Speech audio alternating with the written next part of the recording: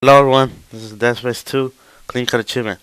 So yes achievement you need to cut all three tentacles of a lurker with the line gun, with one shot of the line gun. You can do it by being a little bit far away or just upgrading it to like a wider range. But right here you got it, I almost didn't record it so I was being stupid. But yeah, just do that and be a little bit far or upgrade it.